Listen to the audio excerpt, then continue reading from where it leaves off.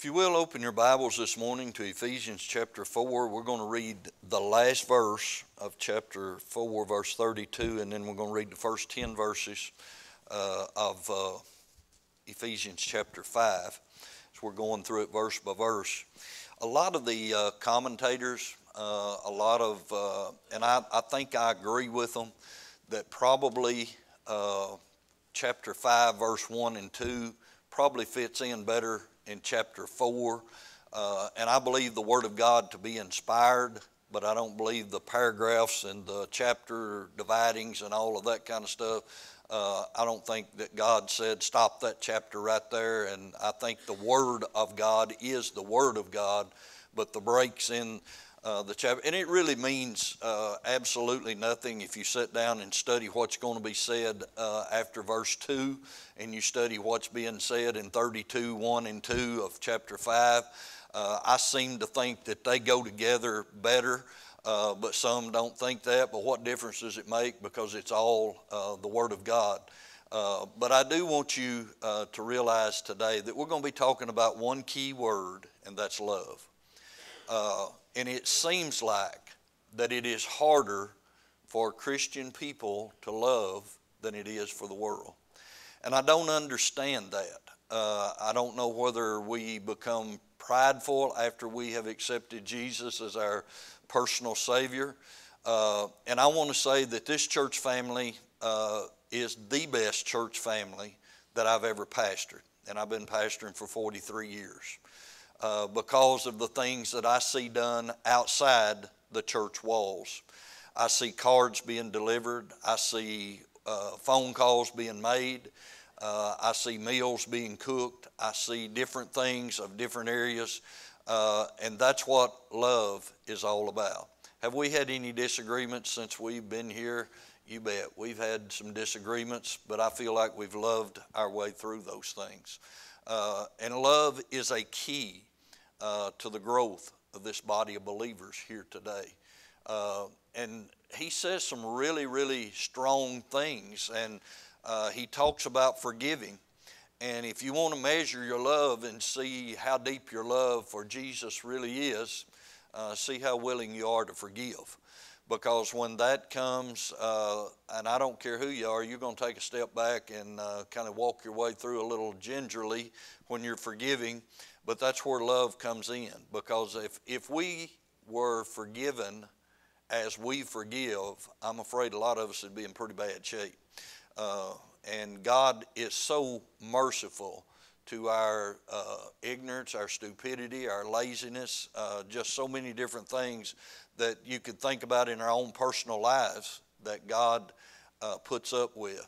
So we, as children of God, have a responsibility to forgive as he has forgiven.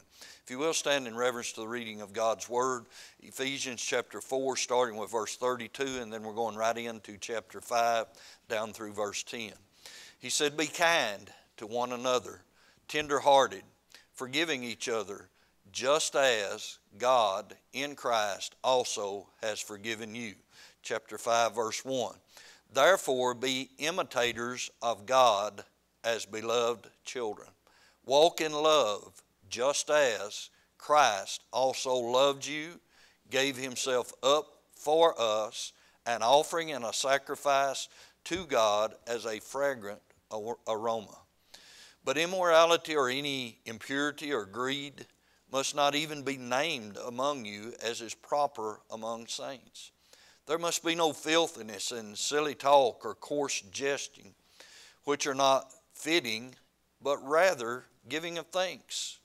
For this you know with certainty that no immoral or impure person or covetous man who is an idolater has an inheritance in the kingdom of Christ and God. Let no man deceive you with empty words, for because of these things the wrath of God comes upon the saints of disobedience. Therefore, do not be partakers with them. For you were formerly darkness, but now you're light in the Lord. Walk as children of light. For the light, for the fruit of the light consists in all goodness and righteousness and truth, trying to learn what is pleasing to the Lord. Let us pray.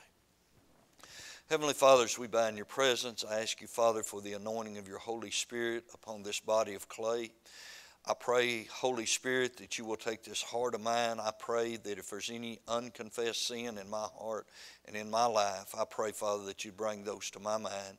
And I pray, Father, that you would forgive me for anything that might have been said, an attitude, anything this week, God, that might have dishonored your name. I pray for forgiveness of that I pray, Heavenly Father, that you will be in this uh, message today. I pray that you will speak forth your word through me.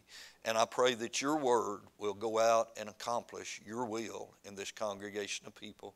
The course that we just sang, Holy Spirit, you're welcome, and you're only as welcome as each individual allows you to be in charge of their lives today. So I ask you for total submission of our lives under the subjection of the Holy Spirit of God under the authority of the Word of God. Send your Word, God, out to accomplish your will, whether it's conviction, encouragement, whether it's uh, to look at our lives and know that there's areas that we need to change, whatever your Holy Spirit leads us in.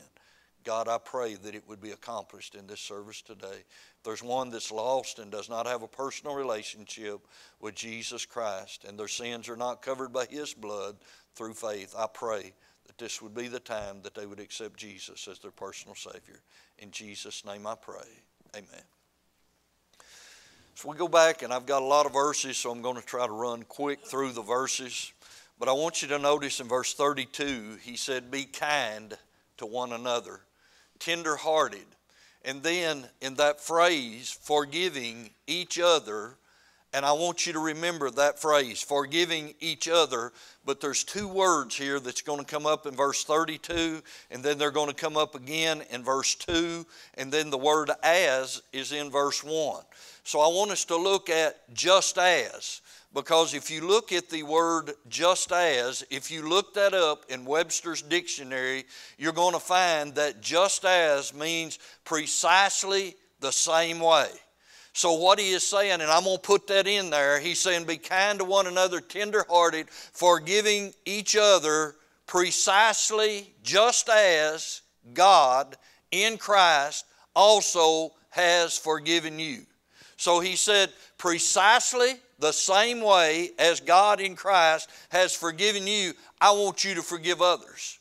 Aren't you glad that when God forgave you of your sins, all of your past sins, when you got saved, that two weeks later He didn't say, Do you remember back in 1940 when you did this and I forgive you of that and you turned around and you messed up again and I'm tired of this?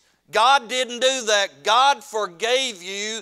God put it out there for you. And He said, I love you and I am going to forgive you through Christ. God said, You've got a relationship with me through Christ because He forgive your sin. Now I'm asking you as children of God in the church at Ephesus, this is what I need. I need a love from you guys that you can forgive each other precisely the same way that I forgave you through Christ. What did you do to deserve? I'll forgive you, but I'm going to be watching to see if you're really going to do what you said you were going to do. And if you don't do what you said you were going to do, I promise you I'll be back in your face and I'll remind you that. Is that the way God forgave? No, that's not the way God forgave. We as a church family need to understand this verse, forgiving each other precisely the same way that God in Christ has forgiven us. Is that easy to do? No, it's not. Is that one of Satan's best weapons to hang around with us and to make us think that we haven't forgiven and to bring it back up and knock the scab off of the wound and let it bleed and let it get infected and let it sit there and stew and brew and all of that kind of stuff? You bet you, I've been there, I know what I'm talking about. But you know what else I know? That God has enough love for me to put in me through His Son Jesus Christ and the presence of the Holy Spirit to accomplish what He just said. Only through Him. Let's look at verse 1. Therefore, He said, I've just to give you some instructions. What I need you to do is forgive, be kind, tenderhearted, forgiving each other precisely the same way that I forgave you in Christ. Therefore, be imitators of God as beloved children. Now, I want to take that imitators of God. What does imitators, if you look up the Greek, it actually just means to mimic that you're going to be exactly and I, I, looked up some things and just and just watched it with my eyes as a you know have you ever just sat down and traced something because i can't draw a stick horse on a piece of paper that'll even stand up it'll fall over if i draw it on a piece of paper i can't draw but you know what you can take something and i can lay it down and I can take a pencil, and I'm pretty good until I got the mama shakes anyway, about tracing it, and I can make it look really, really close uh, to the original of somebody that actually took it and drew it out by hand and had the, the gift to be able to put it all down there on paper. I can trace that. What's he saying? He's saying, mimic God. Love the way God does. You say that's impossible. That's impossible. I'm not going to tell you that you're not going to make some bumps in the road, but I want to tell you something. God Himself is giving us the love through Christ uh, and the power through the Holy Spirit that we can be doing a whole lot better than what we are. The only problem is do we want to do better than what we are? Do we want to be an imitator of God? If I went to the people that you worked with last week, if I went home and sat down with your wife or I sat down with your husband and I said, What kind of life did you see out of that person last week? What kind of words did you hear out of that person's mouth? How many of them would say, My husband was an imitator of God, my co worker was an imitator of God, my wife was an imitator of God? Paul was so concerned uh, because he spent the first three chapters saying, Listen, guys, Jesus has come over to the Gentile race. He's invited you in. He saved you by His blood, by His grace. You didn't deserve it. Now, Paul is saying from chapter 4 on, walk the way that you're supposed to walk, and that's in the light of Jesus Christ. We've got a mentality in this world today, Christianity, that we want, and Dustin brought this up in a Sunday night sermon just a few weeks ago. And I don't want you to get me wrong because there is a profession of faith that we need to understand. But if a profession of faith comes out of your mouth and the walk is not there, the profession is not real. Did that come out okay? If you've got a profession of mouth uh, and the walk is not there, there's something wrong with the profession that you made because if you profess Jesus Christ uh, as your Lord and Savior, uh, there's going to be a change in your heart, there's going to be a change in your talk, there's going to be a change in your walk. Your conduct of life will be different. Not maybe, it will be different. The Word of God will substantiate that just as much as it will if you confess the Lord with your mouth and believe in your heart, thou shalt be saved. That's a true statement of the Word of God. But when you get saved, uh, there will be a different walk in your life. It will be grounded in love. You will be an imitator of God. There will be some character you say, oh, man, I can't believe that. Well, tell, tell Paul that. Paul said, be imitators of God. And Paul finished it up. I love that last phrase, the last three words, as beloved children. I've had people to tell me Dustin looks like me when I'm not even his biological dad. But I guarantee you, if anybody knows the Fielders, you can look at Zach Fielder and know that he's a fielder, right? You can look at me, you can know that I come from Lawrence and Clara Burdin. Why is it that we can see all the physical natures, uh, but we want to walk around here and talk like the world? We want to walk like the world. We want to dress like the world. We want to watch the movies the world walk and say we're part of the family of God. Something's wrong with that picture. If you're a child of God, a beloved child of God, uh, you're going to have some resemblance of God. It's got to be there.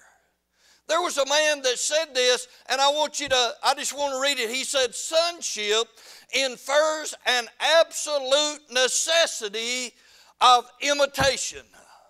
Sonship infers an absolute necessity of imitation. It, it is being in vain to assume the title of a son without the similitude of the Father. Well, that's where the Christian world's at today. We go around saying, I've got the title of a Christian. God is my Father. Jesus Christ is the one that saved me, but I've got no resemblance of Him whatsoever. You know why a lot of times we don't have the resemblance of Him? You know how you're going to find the resemblance of God?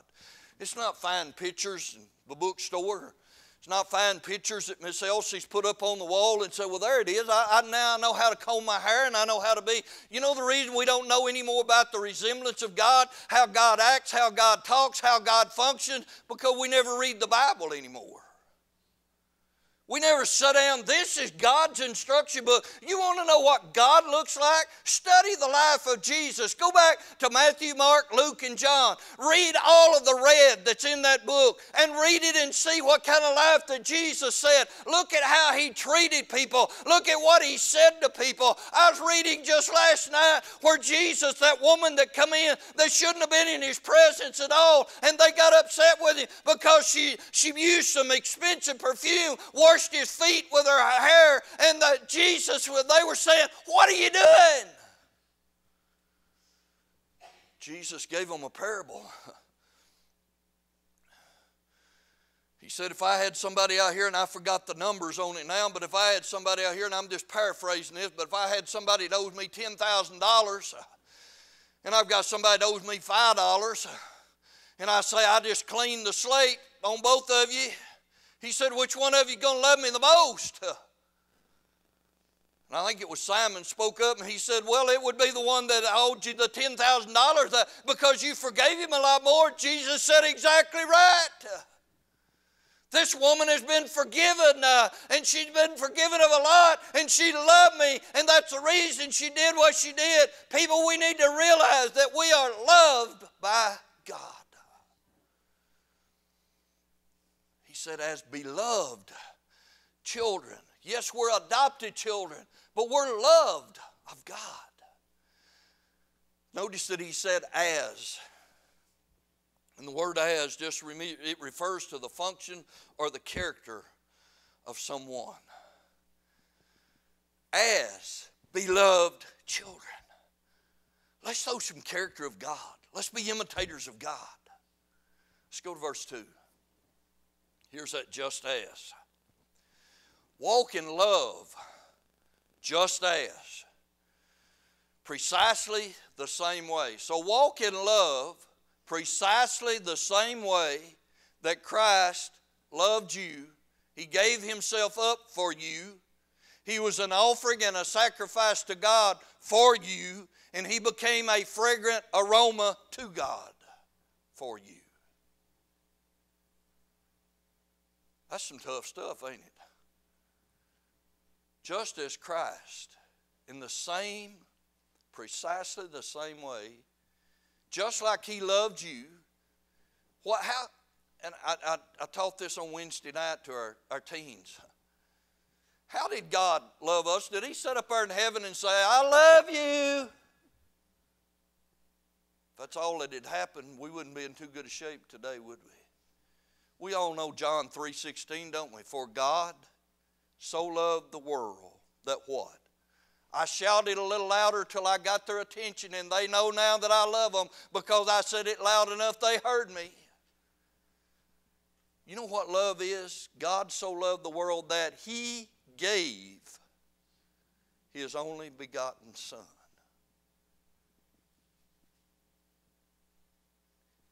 Words are cheap. Is there anything wrong with saying, I love you? I say I love you, and when I say I love you, I mean I love you. But I believe that you people, and I know how I am, words can be cheap. I can say I love you all day long, but if I don't give myself up for you, that love's not very deep, is it? What would happen if we gave ourselves up for everyone else that is around us. So, well, they'd take advantage of me.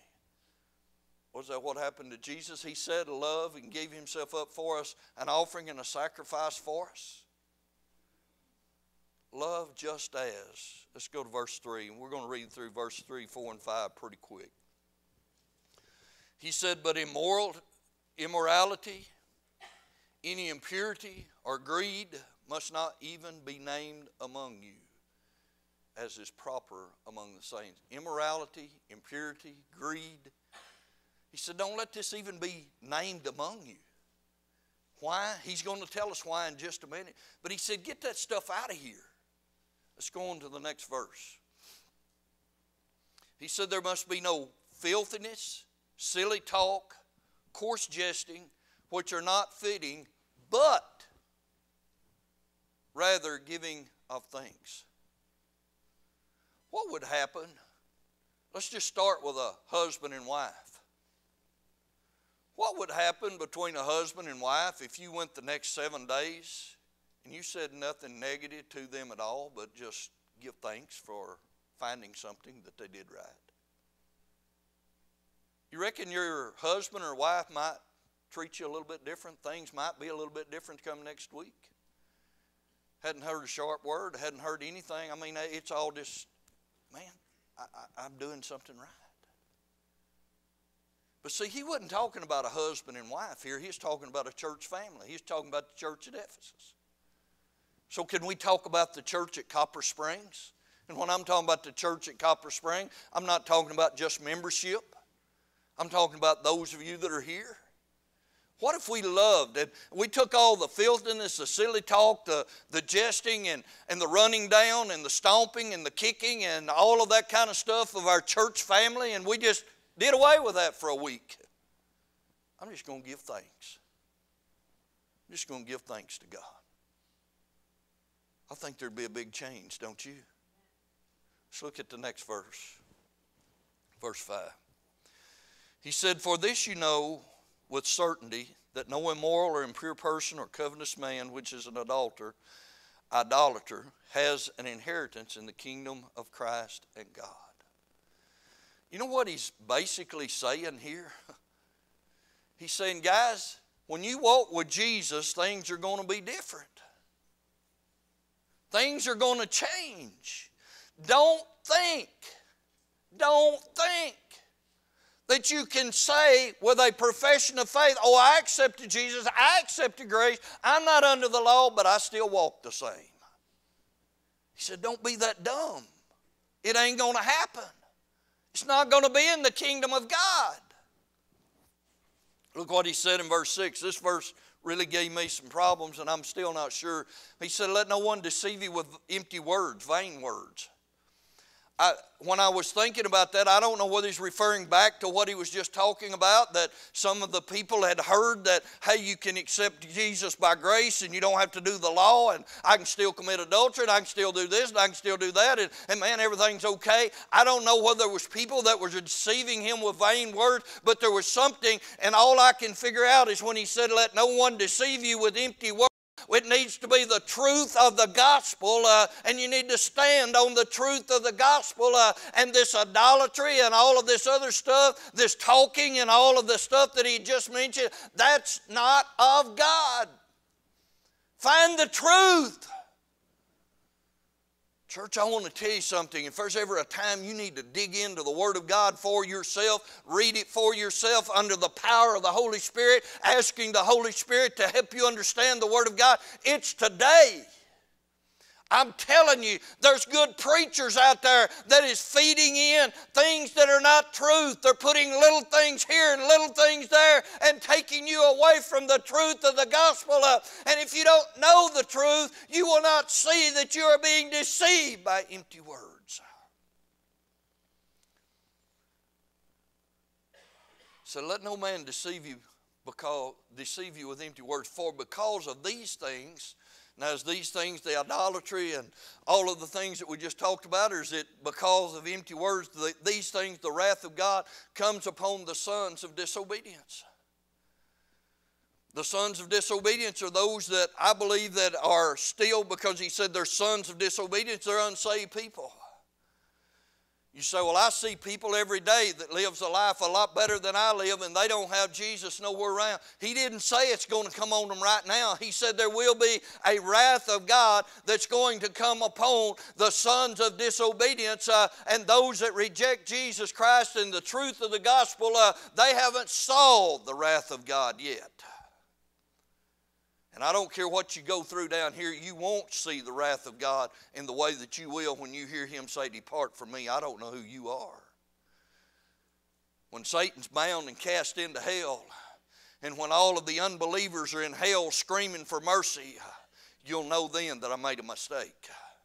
But it ain't a mistake that you'll work your way through. You can file bankruptcy, and in seven years, you can work your way through that. You can do a lot of things. The house can burn down, and in a few months, a few, in a year's time, you can have another place set up and be living in it and be comfortable. I want to tell you something. If you become un, uh, uninformed, if you become a believer in anything except the gospel of Jesus Christ, you will spend eternity in hell, separated from God, and there will be no return There will be no refunds. Uh, you will be there throughout all eternity screaming for mercy.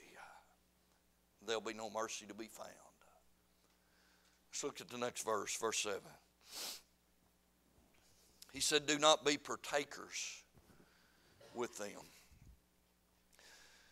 Let's go ahead and look at verse 8 and also. For you were formerly darkness, but now you are light in the, in the Lord. Walk as children of light. Listen to what he just said. If you're saved here today, listen to me. He said, One time you wasn't saved, you lived in darkness. But Jesus came into your life through faith, and you accepted Him, and you asked Him to come in to your heart and into your life. Now you are light in the Lord. You become from a lost person to a saved person. You became out from under the power and the domain of Satan, uh, under the authority of Jesus Christ. Uh, that's what he's saying. But he didn't stop there. He said, You were once in darkness, you were once lost and doomed for hell, but now you're in the light of the Lord. What did Paul finish that statement with? Walk as children of light. What did he mean? Left foot first, right foot, left foot. What did he mean? Walk. It's your conduct of life, it's your attitude. It's the words you say. It's the way you handle situations. It is everything from the time you get up of a morning till you lay your body down at night. It is everything in between. That's what he was saying is your total, complete conduct of life. Walk like you're a child of light. So I didn't want to hear that. I started to just share with you how many times Paul talked about walking in the light, how many times Peter talked about walking in the light. Man, it's there day after day after day and book after book after book and chapter after chapter after chapter. There's so many times Paul was so concerned. You know why he was concerned? Because he knew that people could never see God, they'd never see Jesus again because he'd already ascended and the only resemblance uh, of God was co- going to be coming from the church at Ephesus uh, in their conduct of life. That's the reason Paul spent that time. You know how Guy Arkansas is going to recognize God and see a resemblance of God walking around in Guy, Arkansas? It's not going to be because God came down through the skies and through a cloud and sat down out here on the parking lot and jumped up off the cloud. It's not going to be any of that. You know how he's going to find a resemblance? You know how Guy, Arkansas is going to find a resemblance? It'll be in me and you and our conduct of life. And if that don't reflect it, it won't be reflected. Let's look at verse 9. For the fruit of the light consists in goodness and righteousness and truth. I'm really concerned. I, am really, really concerned. I very seldom talk to anyone that says, I'm lost, and I'm going to hell. And I know that because I've rejected Jesus Christ. Most people will stand and say, Well, I remember I had a confession of faith. And I remembered a vacation Bible school. Or I remember this and I remember that. And no, I hadn't been to church in 35 years. And no, I hadn't done anything. I hadn't picked up my Bible. And no, I, I, I, don't do the things that God wants me to do. And I know that I'm an embarrassment to the kingdom of God. But I believe when I die, I'll go to heaven. Really. You know what the Bible says? I believe it's the book of Proverbs. I may be wrong on this. But God said in His Word that you can believe a lie and be damned. You can sit here and believe you're okay and be damned and go to hell. You can sit here and, con- and convince yourself, I'm okay. I want to tell you, if you're okay, there will be some fruit of the light. It will be there.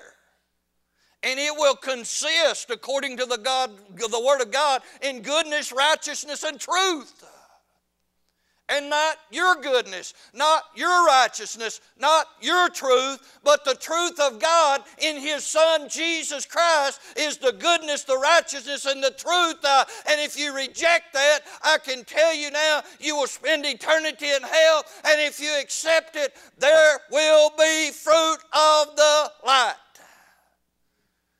If there is not fruit of the light, there is not salvation of Jesus Christ. You say, well, can a man backslide? Yes, he sure can. But if he's content in that backslidden condition, I'm a firm believer, and this is a Gary Burdin. I can't take you to a book, chapter, and verse, okay? But I believe the most miserable human being on the face of this earth is a backslidden Christian. Because I believe God is spanking his backside every day that he wakes up. And if you're sitting and you're okay with your backslidden condition and you're okay and you're not going to do anything any different, and you say, I, I don't have any guilty conscience about it, I don't think you got any of the fruit of the light in you. Let's look at the last verse. This is a verse that I want to close with. Trying to learn I want to ask you are you trying to learn? What are we trying to learn? What's pleasing to the Lord? How do I do that? Well, church attendance would be one thing. Bible study on Wednesday night would be another good thing. Every day, picking up your Bible and reading God's Word would be a good thing. But here's the key trying to learn. See, Dustin back, I think it was in the fifth, sixth grade, somewhere along in there. He was on a basketball team. And he was not much of a shooter, but he was a rebounding machine. If there was a ball went on the backboard, most of the time at his age, he was taking it down. But he had one weakness. When it come to shooting free shots, he was probably at about 5%. So, you know, at close to the end of the game, if the other team was ahead, I think he was number 32. I'd have to look back and see. But you'd hear the coach of the opposing team say, when 32 rebounds, foul him. That's what they did. He'd go, miss the shot, they'd go down and score. We lost a lot of games that way. But Dustin and I sat down and said, Are we going to try to learn something from this and, and change this? You know what we did? We come up with a plan and we got a key to the old gym at Southside School. And the year, the, after that year, before we started playing basketball, about two weeks before we started playing basketball, we went up to the gym and Dustin stood on the free shot line and I was the rebounding man. We shot 200 free shots every day for 14 days. The 10% went to about 90 plus percent because he stood there and shot and shot and shot, trying to learn that when I'm put in that position, trying to learn that I can do better than this. You know what? Didn't take but about two games. Foul number 32. No, that was a mistake. Both them went in. Foul number 32. Then you'd hear say, leave number 32 alone.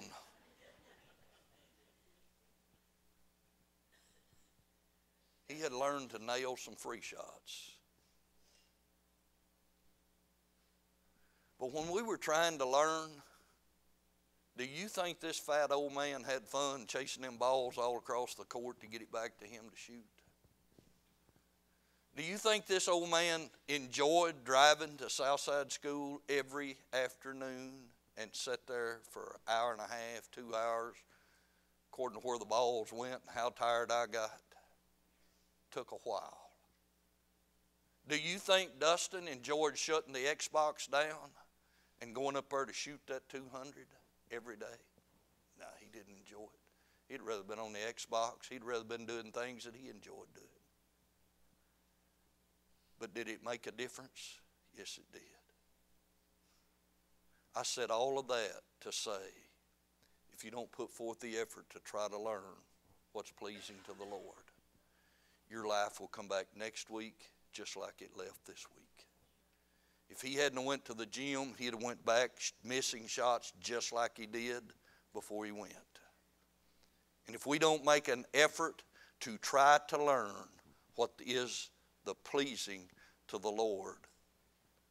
If the effort's not there, guess what? You won't be pleasing God. You say, Well, I'm not. I'm content with it. I'm okay with it. I'd say check your salvation if that's the way you feel today. Because I'm saying to you, pleasing the Lord when this life is over is all that's going to matter. Ain't going to matter what kind of house you lived in, what kind of vehicle you drove, which seats you sat on, how many times you attended. What's going to be pleasing to the Lord is loving one another.